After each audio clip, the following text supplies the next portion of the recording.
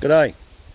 When I was building the second prototype Sunfoil, I was also constructing my son's 20th birthday present, so I was on a timeline and a budget.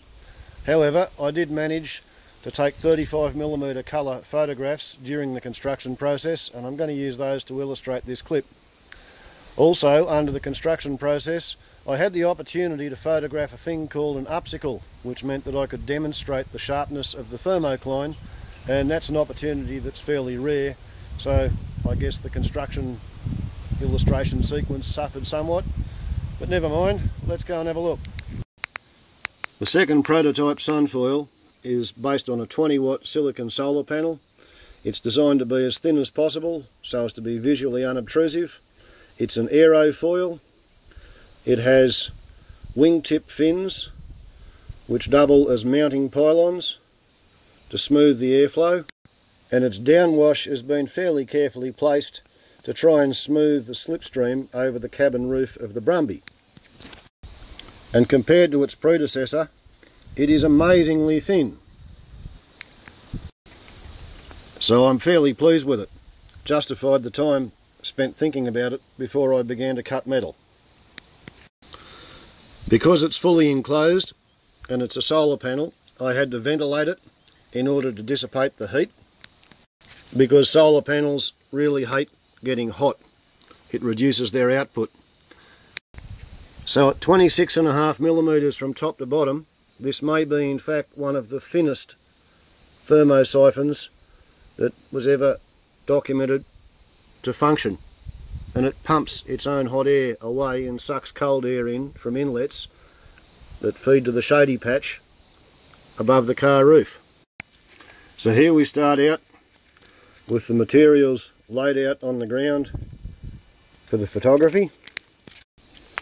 The 20 watt silicon solar panel, core sample tray covers from a mining company, old road sign aluminium, liquid nails, foam styrene, pop rivets and some silicon. The solar panel is very very thin and it has an extruded aluminium track around the edge and I'm going to use that track in order to fit rivet anchors and onto the rivet anchors I'm going to build a structure. So the first task is to mark a piece of thick aluminium roadside aluminium and drill the holes and then saw that aluminium with the holes in it up to become the rivet anchors. Using the ancestral family tools on the workbench that I knocked up myself with a chainsaw.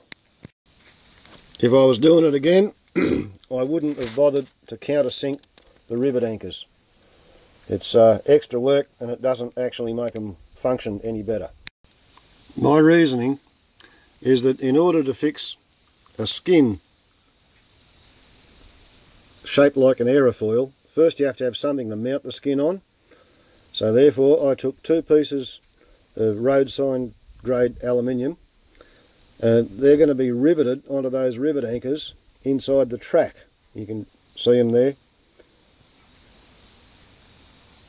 And that gives me something to build the aerofoil shaped skin onto. Because it's going to be a thermosiphon, the idea is to increase the temperature gradient across the inlets. So we use liquid nails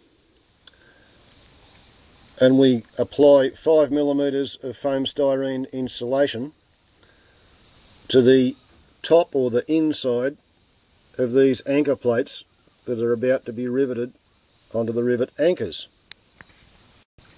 Here you can see the plate attached. You can also see the holes that I've drilled in the solar panel's trailing edge aluminium frame in order to allow the hot air to expand and be pushed out of the cavity that will be formed inside the completed sunfoil. I'm a fairly big believer in doing the working drawings on the metal and then cutting the metal out. So this is what that used to look like before I took to it with a hacksaw. Then simply fold along the dotted line and rivet the wingtip fins or mounting pylons or feet directly onto both the solar panel and the anchor plate. So you've now got three-dimensional geometry stabilising the gussets on the corners. Like all the best cut and fit construction projects, the part finished item is put up for comparison with the previous job. So you can see the process of evolution. And when the young fella visits for the weekend, you get to put it up on the roof of the Brumby and see just exactly where it should be for the best position of the downwash. As well as comparing the two side by side. There's not really much you can do about the flat trailing edge of the cabin window, but I was determined to try and do as much as I could to position the downwash of the Mark II so that it could assist the Brumby in the same way the Mark I assists the 1800 touring wagon. Now without a doubt the most difficult part to fabricate is the trailing edge with its hot air exhaust outlets. So you start off with your piece of aluminium and mark where the outlets are going to be. And then try to remember all the high school tech drawing for how to make various plan forms in sheet metal out of a flat bit of paper. So that you can translate into a three-dimensional object that's exactly the shape you're looking for. And then figure out a way to put it all together in real life. But eventually, pretty much all of this stuff that you learn in high school comes back to you if you try hard enough. And slowly, the trailing edge of the second sunfoil came together. The next morning, as I was ready to lay the tools out and begin sunfoiling at probably 9 o'clock in the morning, I noticed there was something rather strange over at the kangaroo's feed bowl. And it proved to be really, really strange indeed. Can't quite see it in that picture. So try this one. In the shade, the water dish is completely full and it's completely frozen. And sticking up out of the frozen chunk of ice, there was an upsicle. And this thing took a fair bit of cogitation before I worked it all out. Now the water was almost completely pure, and the previous night the temperature in the valley was minus 12 degrees I think. And the temperature at my place, the hut, was, um, I think it might have been one or two degrees. And what's gone on here is the cold air has come up the driveway and the cold air has surrounded the bowl of water and it's super cooled the water but it hasn't been able to freeze because it hasn't had any impurities to begin crystallizing around. While that was happening, three metres above, there was a droplet condensing on one of the leaves of the Melaleuca alternifolia tea tree bush. And the droplet, growing too heavy, fell. And it fell down from the layer of warm air through the thermocline into the layer of cold air and the droplet provided enough energy for the upsicle to spurt up like the central spike in an ordinary droplet hitting an ordinary bowl of water. And that was enough of a disturbance to cause the whole thing to freeze. And because there was five or six thousand litres of water in the swimming pool it had a high thermal mass which was radiating. So therefore the north side of the upsicle was the last to freeze, which accounts for the lean towards the north.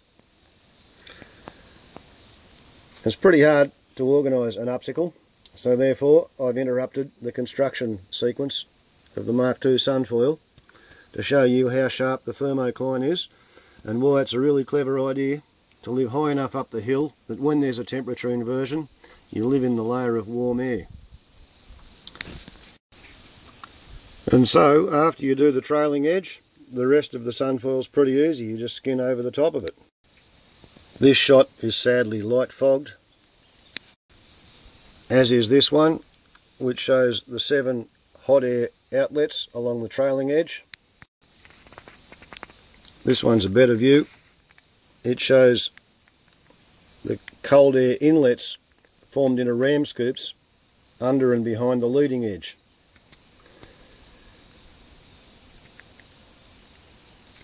So it becomes a ram scoop powered boundary layer airflow control system at highway speed in the moonlight and a solar thermal ramjet going up the highway at midday. A shot showing the second prototype against the first. And another one. And still yet another one showing the level of progress. And after building it I just had to go into work and fit it onto his car. And the improvement in the parking lot is just worlds apart. Whereas the Mark 1 sunfoil looks like an alien spaceship hovering above the car the Mark II is barely visible nobody notices Unless you know it's there, you don't see the Mark II. The other thing that you won't see on the second prototype is the regulator. Whereas the Mark I had the regulator built into its nose, the second prototype is so thin that the regulator is under the bonnet and it talks directly to the battery. You're just going to have to forgive that last pan. I haven't got enough uh, patience to shoot this again. So, that's how you turn a 20 watt really thin solar panel into a sunfoil. A solar thermal ramjet that'll charge the battery of your car and save you about 4 litres a week. Pretty good in its day, but the Mark II is actually slightly too small. However many amp hours your car battery needs every day, fit a solar panel that's half that number in amps output. Ciao.